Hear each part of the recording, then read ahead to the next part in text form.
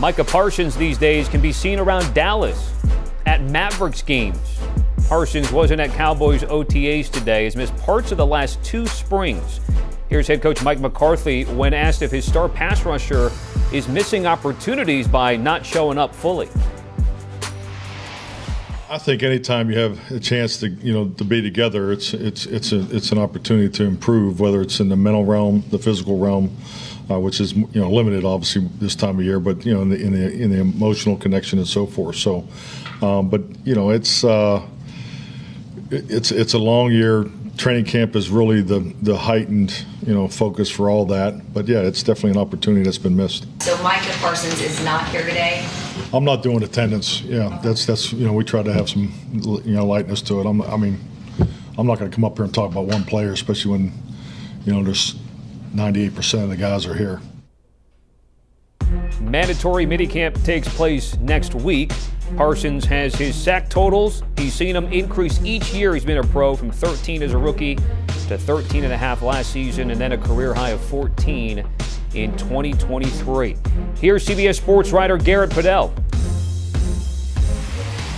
The talk of Dallas Cowboys OTAs today wasn't who was in the building 98% of the roster for 100% of the offseason program, according to head coach Mike McCarthy, but rather those who weren't, and in particular, all pro edge rusher Micah Parsons. Parsons spent the opening part of the offseason program in Tokyo with Texans QB CJ Stroud as an ambassador to grow the game of football in Japan. Since returning to Texas, he hasn't been at OTAs. Missed last week opting to box, and this week he showed up on Wednesday for the team's Jumbotron recordings and other broadcast elements, but a no show today at OTAs, something that head coach Mike McCarthy called an opportunity missed in terms of being able to gel with new defensive coordinator Mike Zimmer and his scheme, as well as lead some of his teammates. 10 year veteran wide receiver Brandin Cooks told me in the locker room after practice that he relishes OTAs, and the only time he ever missed was because of the pandemic.